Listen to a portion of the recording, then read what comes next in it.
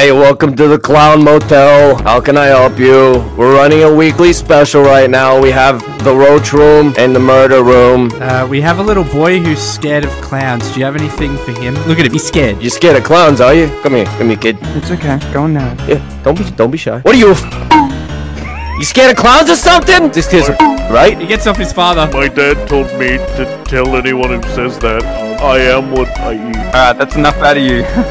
Sorry. Uh, Narrator, go sit down. Sit down. You've done enough. Sorry about him, dude. The first he ever ate was our cat, and we still haven't recovered from it. You know, so Would you guys like to buy a room, or are you just wasting Hey. my time? Listen, listen, listen. I'm sorry about my family, dog. That's, that's my sister there, and that's her husband and their kid.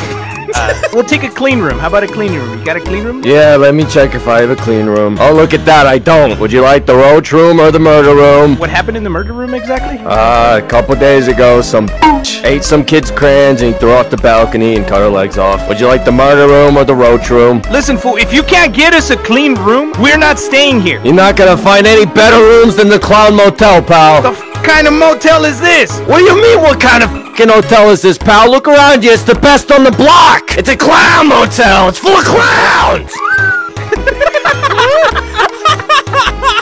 do you want a fucking room or not? Come on! Listen, fool. If you can't get us a fucking room, I'm gonna give you a one-star review on Yelp. Oh my god, you aren't gonna give me pal. Either buy a room or get out! I thought this was the clown motel, but a couple of clowns just walked through my door! What the f did you call me, dog? I'm going full Mexican on you. Más te vale que nos des un pinche cuarto, si no ahorita te, ahorita te tumbo los pinches ojos, güey. Someone tell me what he's saying! what the f is he saying, dude? I don't speak Taco Bell!